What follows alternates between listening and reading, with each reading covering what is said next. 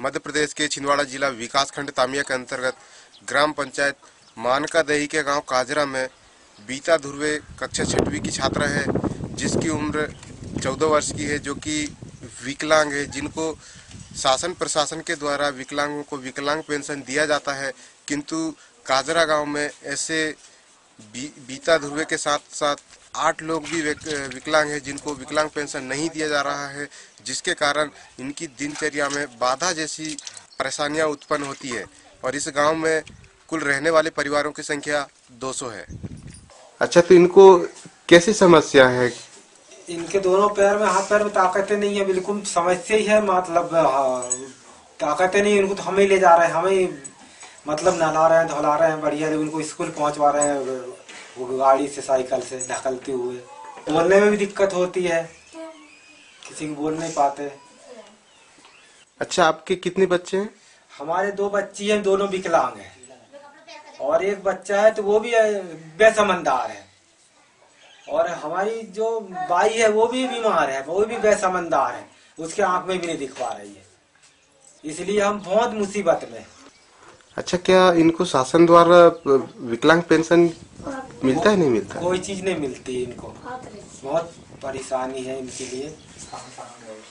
अच्छा इनके आवेदन के बारे में आपने कुछ किए हैं कि इनको पेंशन मिलना चाहिए? हमने सरपंच को बोले सचिव को बोले कोई ध्यान नहीं दे पा रहे है।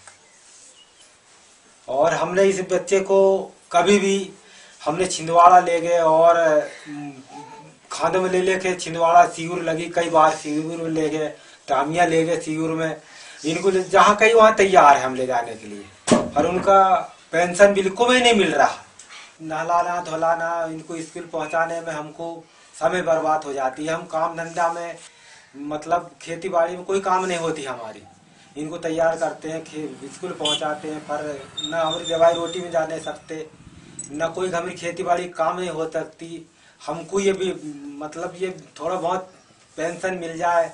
तो हम कम से कम उनको अच्छा पढ़ा लें, लिखा लें, कोई सहारा हो जाए, हमको कमाई कहीं से नहीं है। हम कैसे पढ़ाए लिखाएँगे इनको? थोड़ी बहुत अगर विकलांग पेंशन मिल जाएगी तो हमको थोड़ा सहारा हो जाएगी। ये चाह रहे हैं हम।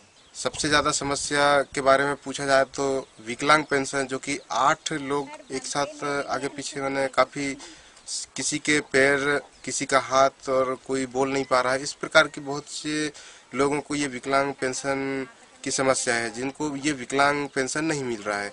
मैं आप सभी इस वीडियो देखने वाले दर्शकों से अपील करूँगा कि यदि आप काजरा गाँव के बीता ध्रुवे के साथ आठ लोगों की समस्या से प्रभावित हैं तो आप हमारे जनपद सीओ श्री महावीर जैन जी का फ़ोन नंबर ज़ीरो इकहत्तर इकसठ सत्ताईस तेईस ज़ीरो तीन में बात करके दबाव बनाएँ, ताकि आपका सहयोग से इस गाँव का बदलाव हो सके। मध्य प्रदेश छिंदवाड़ा ज़िले से मैं राजू परतेती इंडिया अनहट के लिए।